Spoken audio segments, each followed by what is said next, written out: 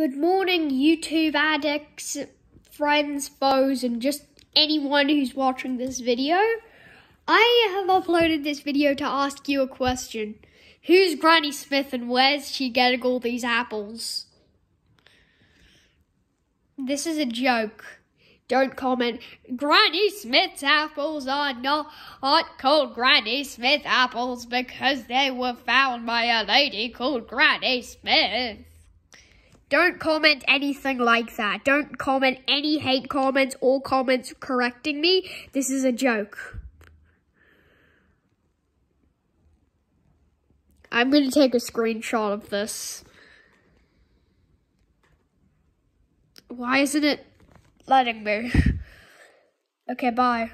Wait, I just realized how to take a screenshot.